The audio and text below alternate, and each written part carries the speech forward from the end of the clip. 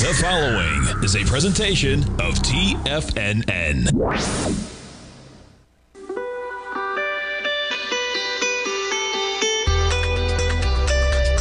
The morning market kickoff with your host, Tommy O'Brien.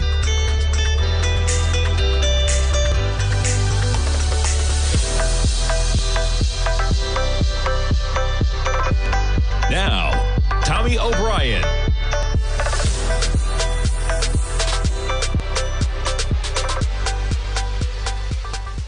Good morning, everybody. I'm Tommy O'Brien, coming to you live from TFNN Monday morning, just after 9 a.m. Eastern Time, and we got markets in the green to kick things off, extending higher yet again. You're looking at an S&P right now, positive by half a percent, trading up almost 19 points at 4104. Nasdaq 100, we're up four tenths percent right now. You get the Dow trading up about a quarter percent, up 83 points at 32,348 in the Russell just under 1900. Russell up by nine points at 1899. Bitcoin quite a bit off of the lows we had last week. Look at that acceleration. Friday, you accelerate from about 19,000 and change up to over 21,000. This morning, we're over 22,000 on Bitcoin, up a thousand bucks at 22,350. Ethereum catching a bid. Now check it out. Bitcoin, you're up 4.7%. Ethereum, you're only up 1.3%. 1732 for Ethereum. Crude's catching a bid yet again. So much for 81.20. We're back pushing 89 bucks in the price of crude this morning. Let's take a look at that crude on a daily basis. Uh, interesting when you go back to the highs of last October, 85.41. We just dipped below that level. We get back above that level, 88.61 right now. Quite an acceleration over the last few days of crude. Back to a 15 minute chart. We jump to gold. We got some currency action this morning. You got gold spike into 1745. We back off a bit to 1741. We got currency action almost every day right now going on. Silver Check out that acceleration, pushing almost $20. We were at 1775 last week. You're up by 91 pennies at 1967. That's almost a 5% pop in silver versus barely a 1% pop in gold right now. And you jump to notes and bonds. We got a little bit of higher price and lower yield, but you're still talking about a 10 year yield, 3.29%. 3.29%, man.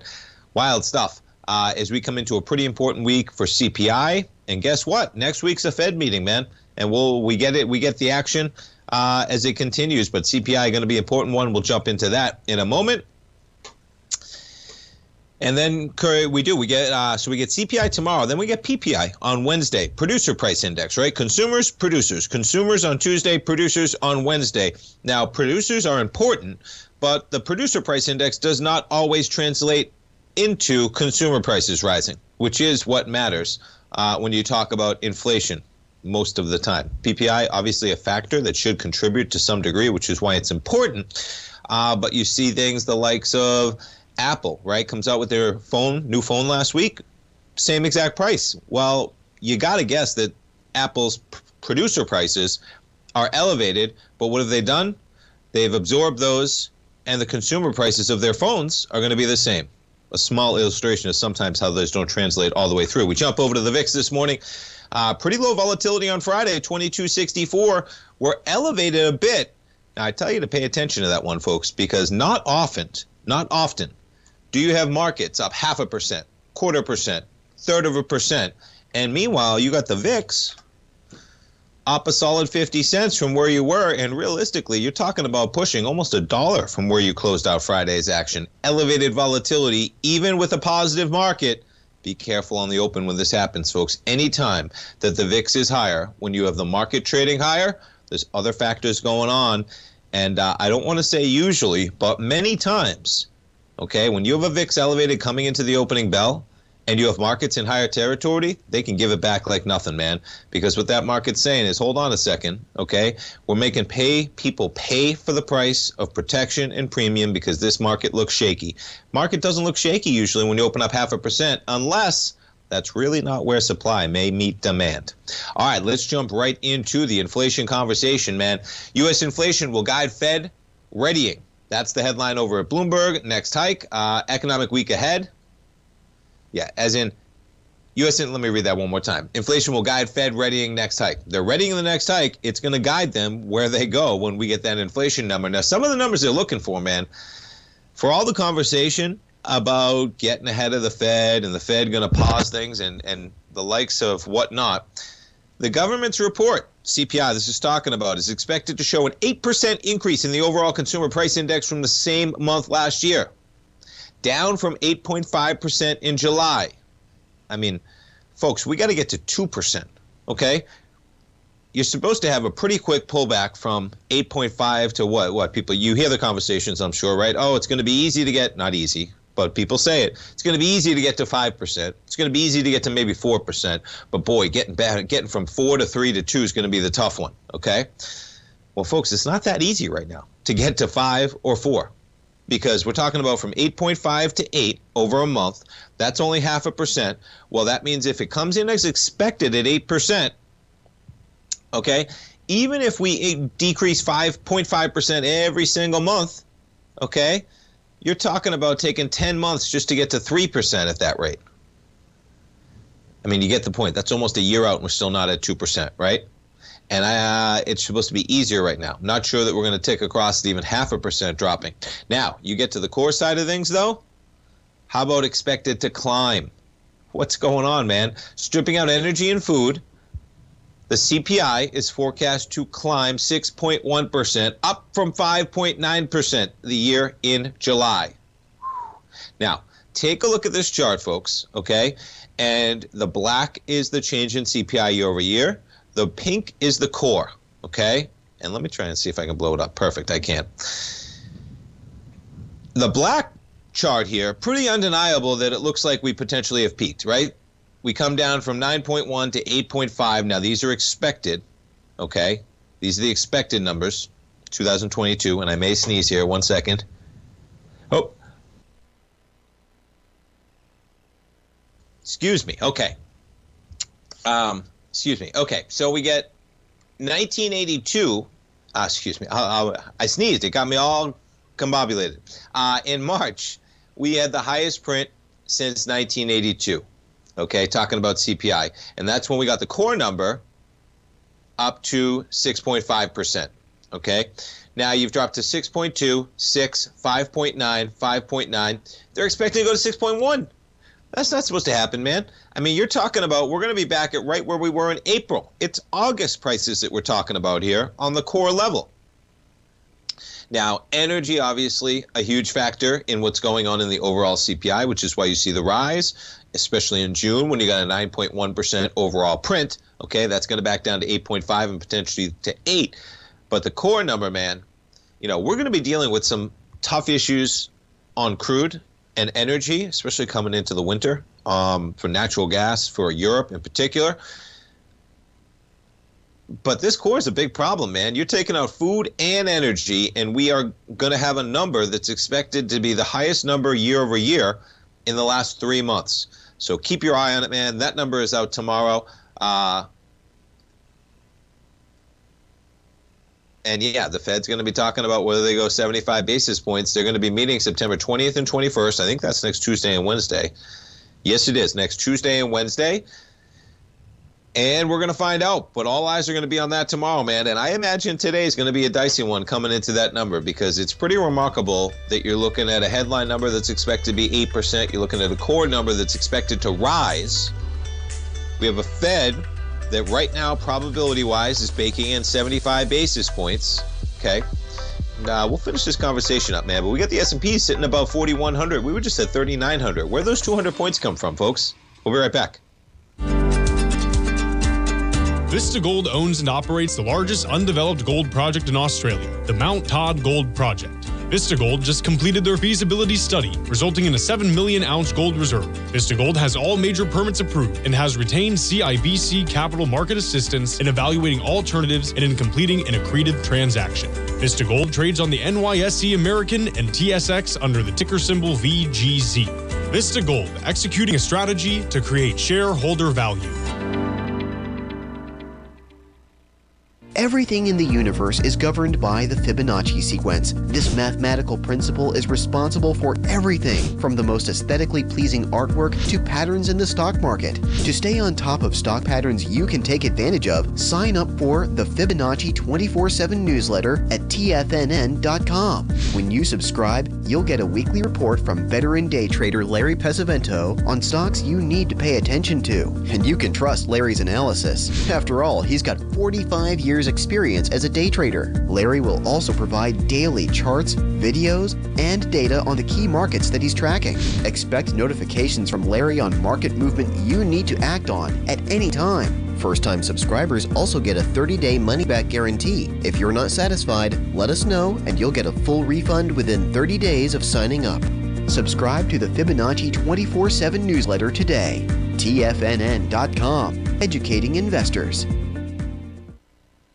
Steve Rhodes started his trading career as a student almost 20 years ago, and the student has now become the master. Steve won the prestigious Timer of the Year award in 2018 and barely missed that mark again in 2019, finishing at number two for the year. An amazing accomplishment. Steve Rhodes is committed to sharing his techniques and knowledge with anyone who wants to learn and he shares his vast amount of trading knowledge every day in his Mastering Probability newsletter. Steve's award winning newsletter, Mastering Probability, is delivered every trading day with updates throughout the afternoon. Sign up for Steve's market newsletter, Mastering Probability, and you'll receive access to seven of Steve's educational webinars absolutely free. At TFNN, all our newsletters come with a 30 day money back guarantee, so you have absolutely nothing to worry about. Visit TFNN.com and try Mastering Probability 30 days risk free today. TFNN, educating investors. TFNN has launched the Tiger's Den. Hosted at Discord, TFNN has been educating traders for more than 20 years with live programming hosted by a variety of professional traders during market hours. The Tiger's Den, available to all tigers and tigresses for just $1 for the year. There's no catch or added costs when you join our community of traders. Sign up today and become a part of this educational community of traders. Just visit the front page of TFNN.com.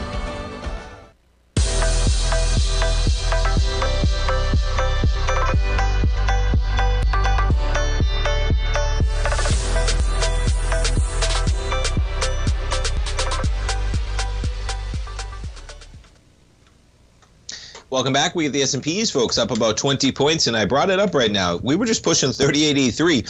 Uh, where did these 200 points come from, folks? I mean, at first it was beginning a little bit of a relief rally, but you're talking about, excuse me, you're talking about 5% from where we were on Wednesday morning, Thursday, and Friday. As we come into a CPI number that's supposed to show rising core CPI, as we come into a Fed meeting that's baking in a third 75 basis points hike.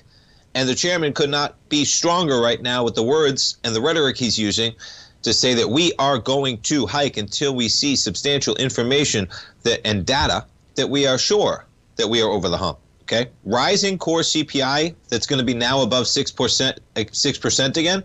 That's not what they're talking about, folks. Uh, so I don't know where the market comes to 4,100 when you were just at 38.83. We put this thing on a daily. Okay, quite the sell off from August 16th when you were pushing 43.27. You dive down to 38.84. We're now coming right into the 50%. If you're looking for the 618, talking about 50 points to the upside on the S&Ps of where that bounce could potentially go. Now we got through the 31 the 382 and that 382 we are right in the big bar from August 26 folks, okay?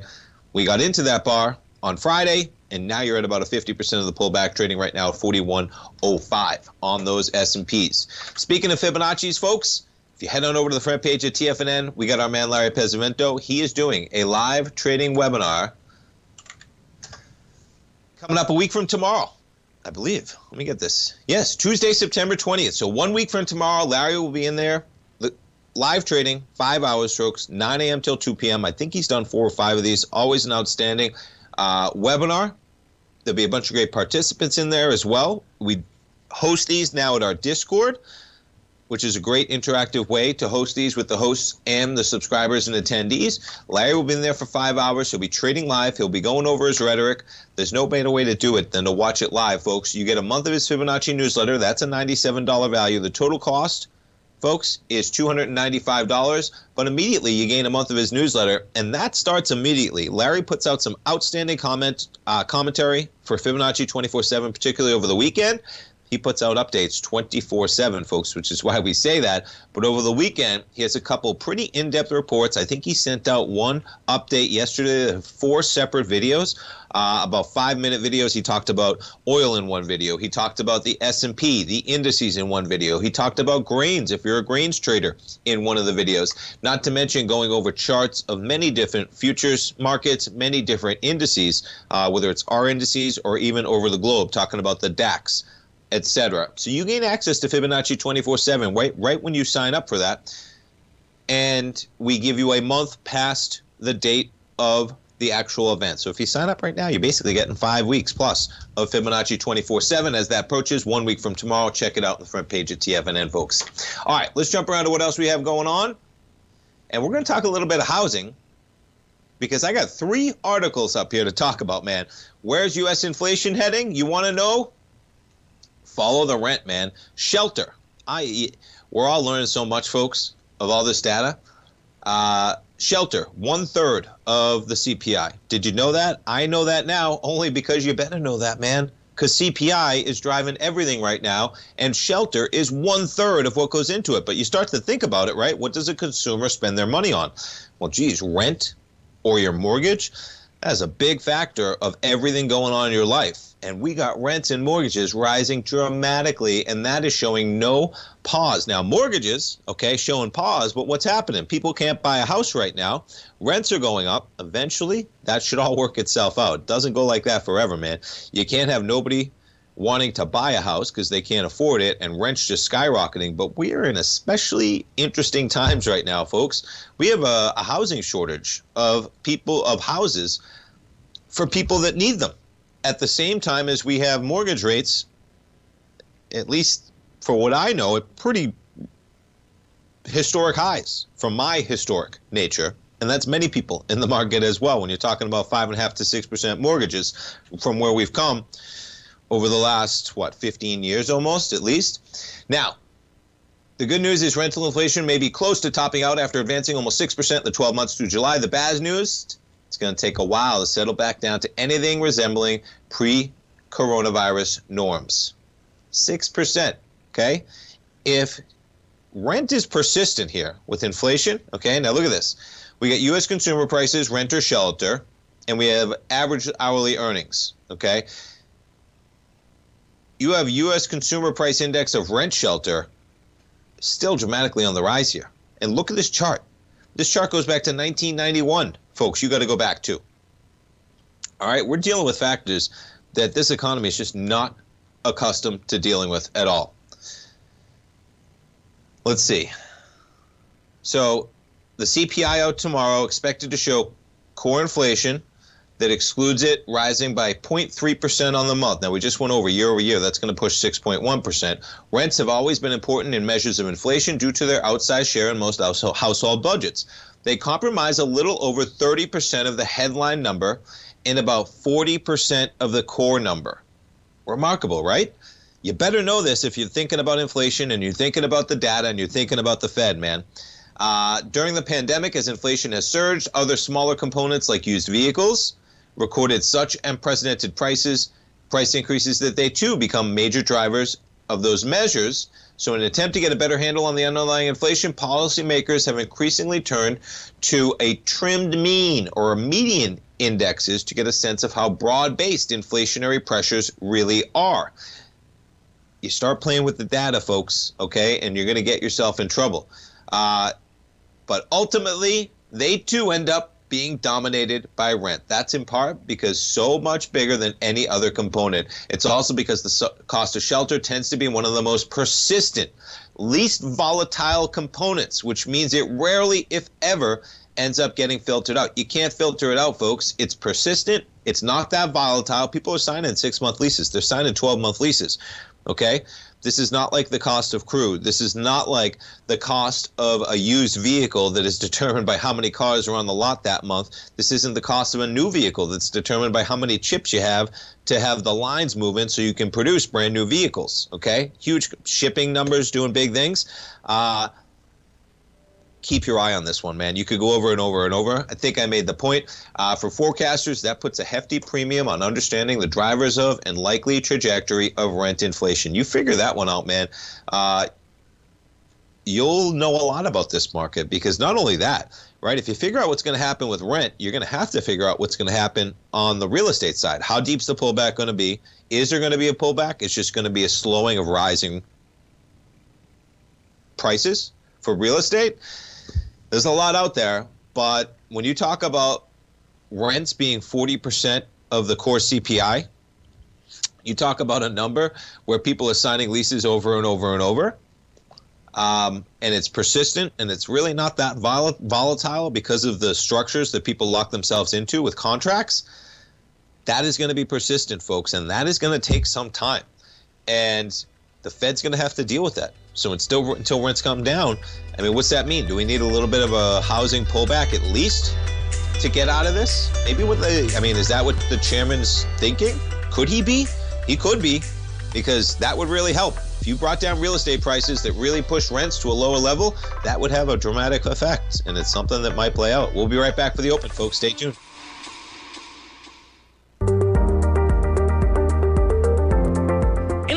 Booming inflation, where your purchasing power is eroded, there's no better place to protect your hard earned money than in gold. Vista Gold's flagship asset is the Mount Todd Gold Project in the Northern Territory of Australia. This is Australia's largest undeveloped gold project. We are talking a world class gold project in a Tier 1 mining district. This is a large scale, low cost project with significant existing infrastructure in a politically safe and friendly mining jurisdiction. Vista Gold just completed the Mount Todd feasibility study, which resulted in a 7 million ounce gold reserve and a 16 year mine life. All of this, combined with the approvals of all major operational as well as environmental permits. This distinguishes Mount Todd as an attractive, de-risk partner, ready development stage gold project. Vista Gold trades on the New York Stock Exchange under the symbol VGZ.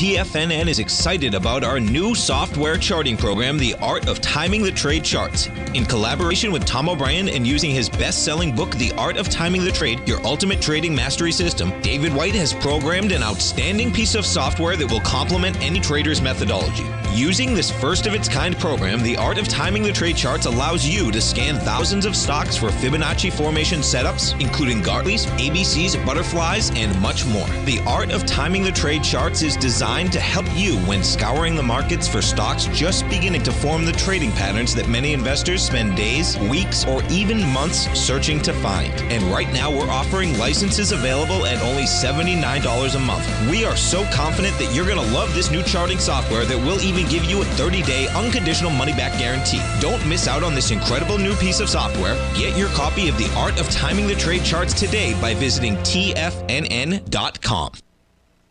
Sharpening your skills as an investor is like getting better at playing a musical instrument. You have to practice, sure, but you also need excellent instruction from experts. At TFNN, you'll get advice and guidance from the authority in technical market analysis. And it's not just dry, tedious text either. TFNN airs live financial content streamed live on TFNN.com and TFNN's YouTube channel with Tiger TV, live every market day from 8:30 a.m. to 4 p.m. Eastern for free. Each host is an experienced trader and gives their take on the market while taking calls and questions live from around the world. From the moment the market opens until the closing bell sounds, Tiger TV has eight different shows with expert hosts to help you make the right moves with your money. Watch online at TFNN.com or on TFNN's YouTube channel and become the investor you were born to be. TFNN, educating investors. This segment is brought to you by Think or Swim. For more information, just click the Think or Swim banner on the front page of TFNN.com.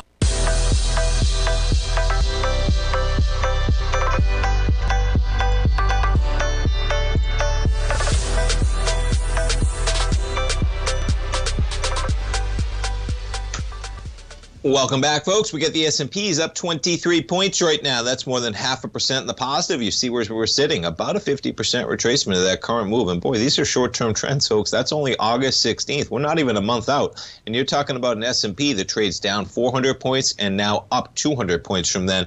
Uh, mentioned, we've been talking about it. CPI tomorrow, PPI on Wednesday. A Fed meeting begins one week from tomorrow with a announcement the 21st yes which is a week from wednesday 2 p.m eastern time press conference to follow. Right now the market looking for about 75 basis points.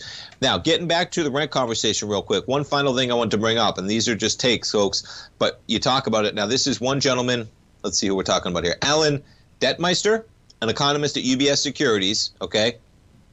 And some of the analysts have been magnificently wrong, folks. I was listening to Bloomberg this morning, and they were just talking about the Fed projection of where they saw their rate uh, at the end of this year in December. They were looking for something like nine tenths of a percent is what they were looking for.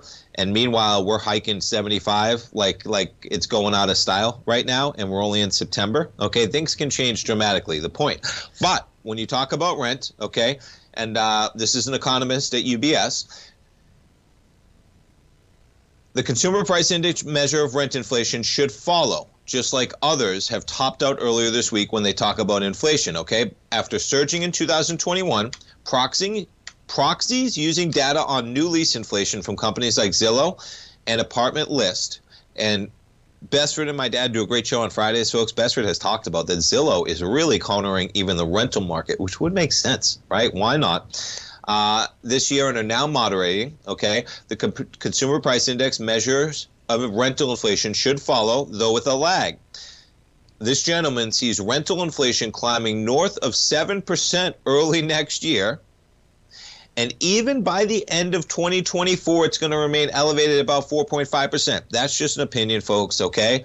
But boy, if we're dealing with rental inflation that's 40% of the core, that's pushing 7% next year, and it's pushing 4.5% by the end of 2024, there is going to be inflation that is not transitory, to put it lightly. In many cases, you don't get the jump up to those market rates until the tenant moves out.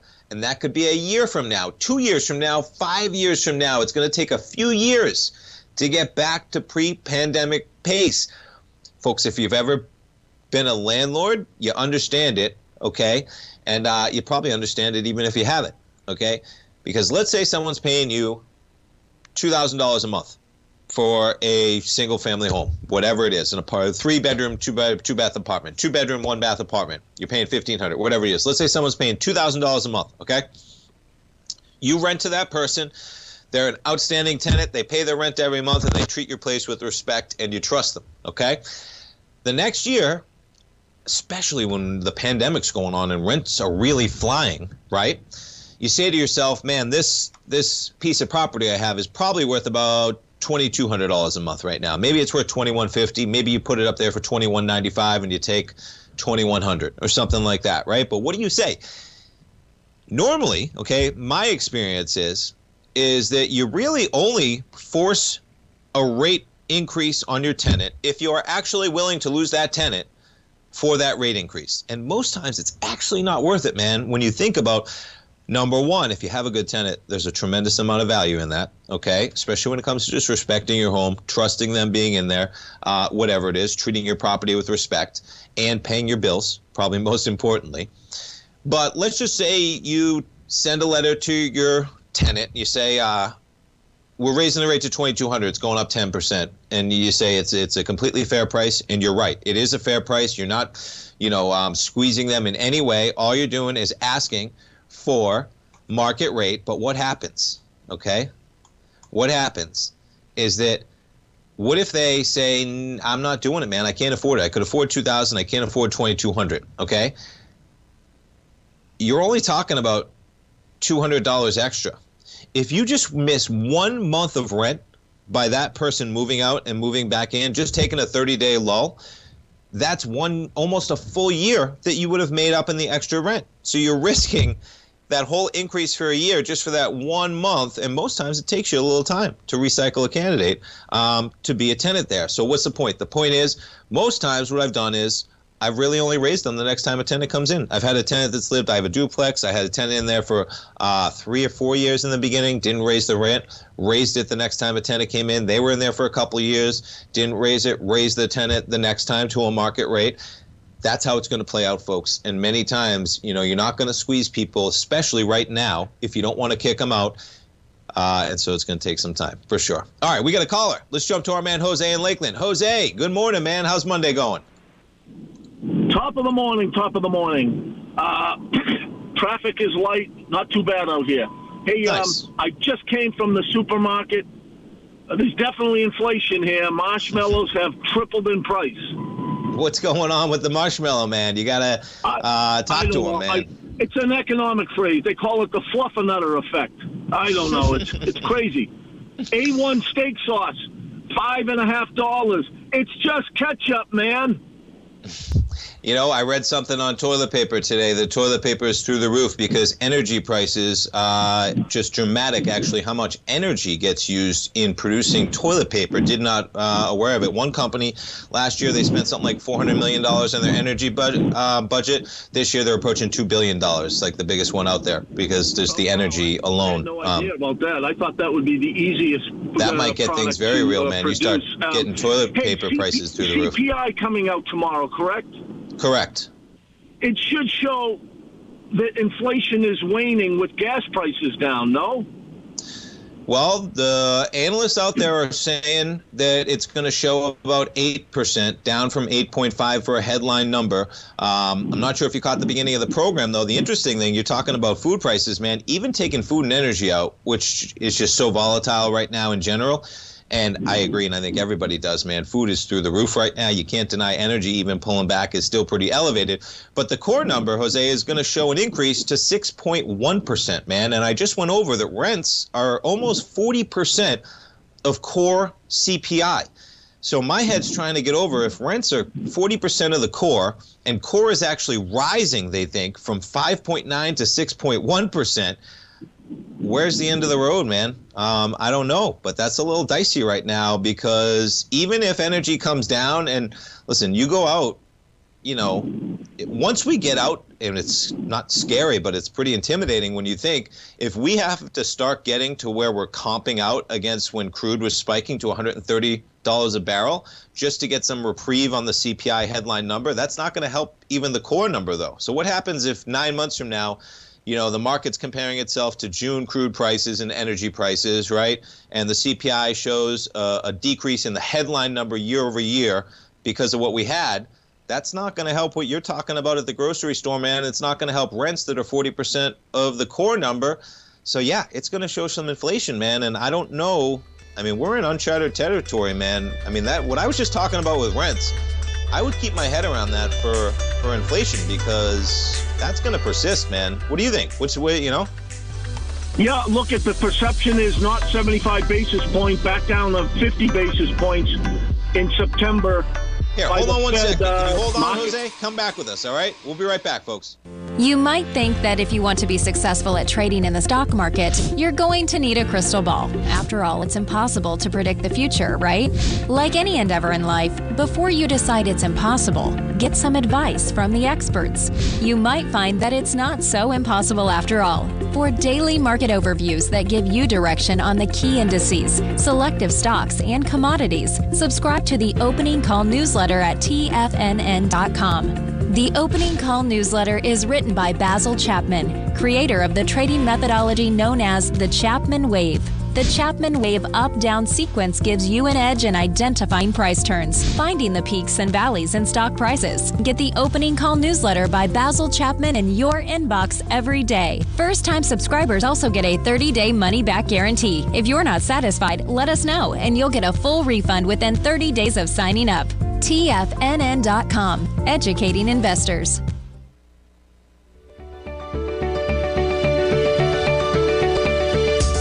The technology around us is changing every day. With so much happening, it can seem impossible to keep up with all the information. David White's investment newsletter, The Technology Insider, is designed to give you all the information you need to understand the technology that shapes today's markets and tomorrow's future. David White has made his living staying on the cutting edge of technology. His weekly newsletter will give you specific recommendations for value tech stocks, as well as entry prices, target prices, and stops to set for each trade. Dave delivers his weekly newsletters every Friday with updates throughout the week. You can get the Technology Insider at tfnn.com for only $37.50. Sign up for David's newsletter, The Technology Insider, and get an inside look at everything the technology sector has to offer. Try it risk free today with our 30 day money back guarantee. TFNN, educating investors. Will the S&P 500 continue to climb? For bold trades on US large cap stocks in either direction, trade SPXL, SPUU, or SPXS. Directions Daily S&P 500 Bull and Bear Leveraged ETFs. Direxion leveraged ETFs. An investor should carefully consider a fund's investment objective, risks, charges, and expenses before investing. A fund's prospectus and summary prospectus contain this and other information about Direxion shares. To obtain a fund's prospectus and summary prospectus, call 866 476 7523 or visit direxioninvestments.com. A fund's prospectus and summary prospectus should be read carefully before investing. An investment in the funds is subject to risk, including the possible loss of principal. The funds are designed to be utilized only by sophisticated investors such as traders and active investors. Distributor Foreside Fund Services, LLC. This program is brought to you by Vista Gold, traded on the NYSE American and TSX under the symbol VGZ.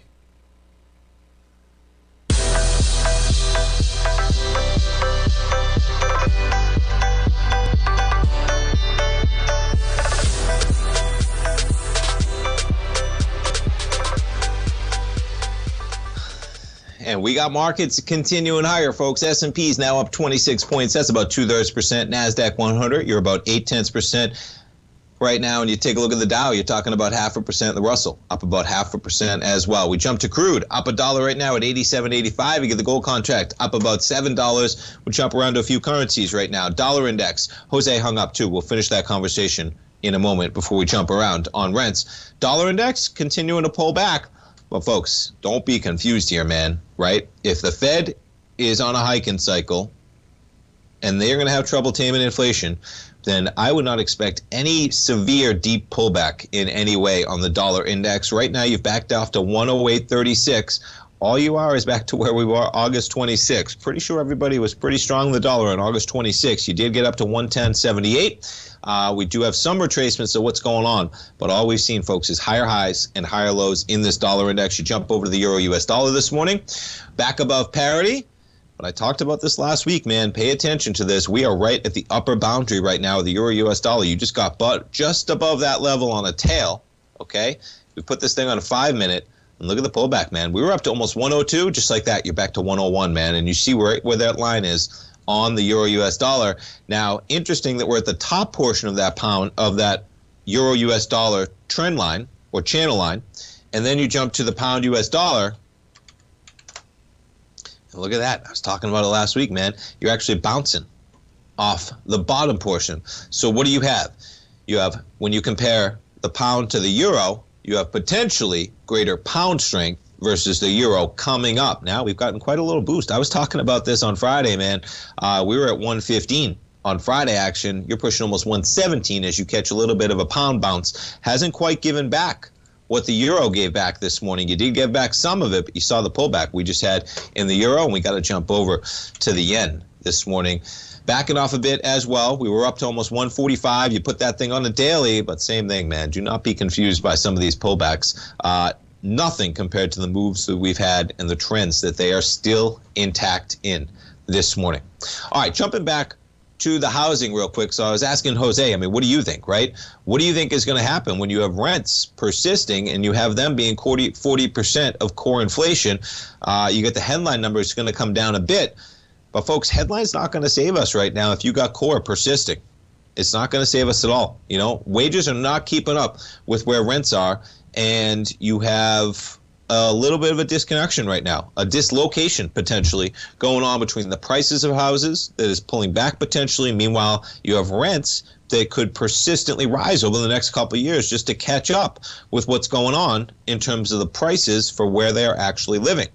Now, a couple different articles I had up here as well. New York City housing, okay, pulling back a bit from where they were. The number of properties for sale. Now, this article is from September 7th, okay, but I'm jumping around a bit because this is kind of what we're talking about this morning. We get CPI tomorrow. And again, even the headline number, okay, shelter is one third of. The core number, it's almost four tenths up.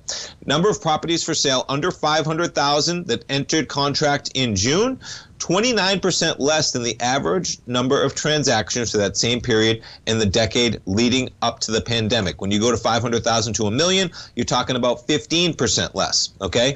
You talk about the world's hottest markets. Now this one out yesterday. All right, I'm just going to scroll down to some of these markets Sydney, Auckland, New Zealand, Stockholm, Toronto, right? Toronto, just, I mean, we've been hearing some tough stories of Toronto, man, and they are just edging lower. Whereas look at the pullbacks we got in Sydney, Auckland, Stockholm, man.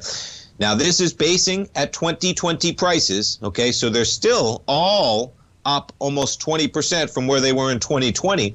But boy, Auckland was pushing 40 plus percent, and you had everything else pushing 30% at one point. Toronto got up to 50% at one point. Now, here's what I found so interesting about this article, though talking about interest rate volatility, exposure, variable risk. How exposed borrowers are to rising rates varies notably by country. In the U.S., for instance, most buyers rely on fixed rate home loans for as long as 30 years. Adjustable rate mortgages represented on average about 7% of conventional loans in the past five years. Not sure who was locking in an adjustable rate mortgage as rates were where they were over the last five years, but that's the market. Maybe they weren't going to hold it for an extended period of time and they were just flipping it. Maybe there were other things going on. Uh, if they're still holding that, that was a mistake. By contrast, other nations commonly have loans fixed for as little as a year or variable rate mortgages that move closely in line with official interest rates. We've seen how that can go bad in the US before. You're not going to believe some of these charts. Maybe you are and you know them. Australia, Spain, the UK, and Canada had the highest concentration of variable rate loans as a share of new originations in 2020. Now, these are 2020 loans, folks. Do you remember what was happening with interest rates in 2020? Okay. They were crashing as the pandemic spread in 2020 especially the later half of the year, right? Before we had quite come out of things. Uh, Australia, 93% of their loans are variable rate. They're in big trouble, folks. Okay? Spain, 52%. The UK, 42%. Canada, 24%. The US, 1%. France, 1%. Thank goodness um, for current owners of homes that they're going to be at that level because New Zealand at 55%, I mean, look at this. So, other countries have a large portion of mortgages resetting imminently. They reset. In New Zealand, for instance, 55% of the outstanding value of residential mortgages is either on a floating rate or it's on a fixed rate that needs to be renewed in the year July 2023. That ain't fixed, folks, if it's fixed for less than a year. Uh, New Zealand, where prices rose close to 30% in 2021, is something of a poster child of the pandemic housing boom. The central bank has hiked interest rates seven times in the past 10 months, and housing prices were down 11% in July from their peak in November. Uh, yeah, and it's going to spread, man, when you talk about those types of interest rates in pretty dramatic fashion hitting that market. Uh, we're kicking things off with a little real estate, but boy, if you solve what's going to happen with interest rates impacting real estate, that impacting home ownership, how that plays out to the rental dynamic going on. Because if people are unable to buy houses, folks, and they are still forced into renting, and those rental prices are resetting over the next year or two, and there's enough demand to support the prices that they are coming to market with, and you still have an inflationary tendency pushing 7% next year and even 4.5% by the end of 2024. I don't know where the Fed goes then. But I haven't heard anybody talking about that. I haven't. Have as you know where where are um, where's the analysis? And I'm sure it's been out there in some capacity, but I haven't seen it that talks about how we get inflation back down to any reasonable level when you have rents going to be contributing such a huge factor in things, and that estimate could potentially be rising almost 5% still through 2024. It's wild stuff, man, in a big way. We jump around, folks. Let's check out some, some of the FANG stocks are kicking off the week. We got Amazon up about uh, 1% this morning, kicks things off. Big Dog Apple after their week last week, they're up 2%. There's a pop for you to 160.59. Tesla shares this morning up about 1.5%. We jump over to Google shares. Google fairly in the positive by about 10 cents this morning. We jumped to Microsoft shares up about half a percent as well. Let's see how some of those growth stocks are faring. ARKK up about 1.6%. That thing is just building a base potentially on the bottom, chopping around the 40s. Stay tuned, folks. One more segment. S&P is up 33 points. We'll be right back. TFNN has just launched their new trading room, the Tiger's Den. Hosted at Discord, TFNN has been educating traders for more than 20 years with live programming hosted by a variety of professional traders during market hours. And now they are expanding their reach with the Tiger's Den, available to all tigers and tigresses for just $1 for the year. There's no catch or added costs when you join our community of traders. In the Tiger's Den, you can look over the shoulders of Tom O'Brien and the other TFNN hosts while they analyze charts during their live Tiger TV programs and join an interactive trading community with hundreds of members exchanging ideas. Interact with other Tigers and Tigresses as they share trading ideas, news analysis, and discuss the market action all trading day, even at night and on the weekends. The Tiger's Den at Discord is accessible on mobile or tablets as well, so it's always at your reach. To sign up today and become a part of this educational community of traders, just visit the front page of TFN CNN.com.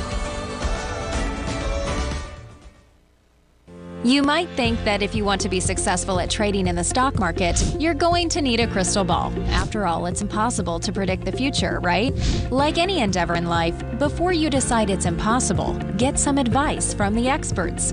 You might find that it's not so impossible after all. For daily market overviews that give you direction on the key indices, selective stocks, and commodities, subscribe to the Opening Call newsletter at TFNN.com. The Opening Call newsletter is written by Basil Chapman, creator of the trading methodology known as the Chapman Wave.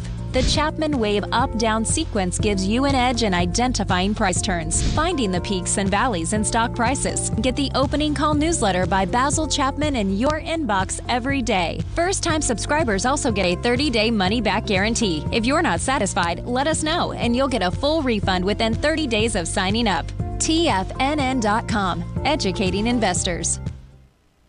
Everything in the universe is governed by the Fibonacci sequence. This mathematical principle is responsible for everything from the most aesthetically pleasing artwork to patterns in the stock market. To stay on top of stock patterns you can take advantage of, sign up for the Fibonacci 24 7 newsletter at TFNN.com. When you subscribe, you'll get a weekly report from veteran day trader Larry Pesavento on stocks you need to pay attention to. And you can trust Larry's analysis. After all, he's got 45 years experience as a day trader. Larry will also provide daily charts, videos, and data on the key markets that he's tracking. Expect notifications from Larry on market movement you need to act on at any time. First time subscribers also get a 30 day money back guarantee. If you're not satisfied, let us know and you'll get a full refund within 30 days of signing up. Subscribe to the Fibonacci 24 7 newsletter today.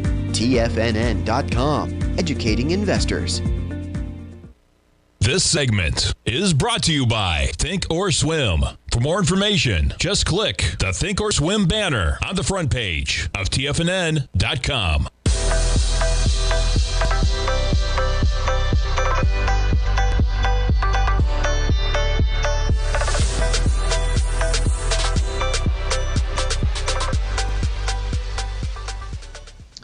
Welcome back, folks. We got markets continuing to drift higher. Looking at S&P, almost a full percentage in the positive right now, trading up 37 points at 4122. Nasdaq 100, you're a similar nine tenths percent in the green right now, 12,783.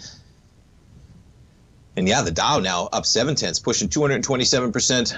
Uh, excuse me, 227 percent, 227 points in the higher. Let's jump around to some of the banks this morning. With J.P. Morgan up about 1.7 percent this morning. Bank of America we're up 1.5%. We jump to some of the airlines. Delta up 1.8%. Everything's getting a lift, man. Really interesting. 2.6% for Americans. Uh, Southwest up 1.6%. Cruise ships up a couple percent. Now check out Carnival, man. If you're looking for a trade, folks, this might be one. Uh, you get back within this channel line, you're towards the bottom line of that. You know, keep in mind though, if you are playing Carnival and you are buying Carnival, you could wake up any day and there could be a shock to that stock that says they can't support the debt and they might go out of business. And you could just see a dramatic drop off. Maybe you trade it with options to get some defined risk of some capacity. Uh, even if you catch a bounce to the upside of this channel line, you're talking about 14, 15, 16 bucks on Carnival. Let's check to some of the chip stocks, Nvidia shares. This thing's been just hammered, man. Up two tenths percent, trading at 144.24. AMD shares, yeah, down as well, down about seven tenths percent this morning. We jump back to Apple shares. Look at this, man. Apple, quite a pop up 2.4%. Look at this acceleration. Apple just traded up $2 from the open. Apple just gained $32 billion in market cap uh, in the last 26 minutes as Apple accelerates higher. This whole, yeah, NASDAQ 100 now more than 1% in the positive. It's going to be an interesting one, folks. Do we hold this? Do we hold it into tomorrow's number? Going to be some dicey action tomorrow. Uh, I bet we're going with 75 basis points next week, man. And I bet even if we come pretty close in line, the numbers they're looking for the reason why we spent so much time on it today, folks, try and remember the numbers we're looking for and try and remember how hard it's going to be to get to anything resembling normal CPI. And until it's, you know, something with conviction, the conversation is not going to end and the chairman's going to be out there. And the S&Ps are sitting pretty relatively well at 41.26 coming into potentially that third 75 basis point hike. Stay tuned, folks. Basil Chapman, he is back live. Live programming all day at TFNN. Basil's up next. Have a great Monday, everybody.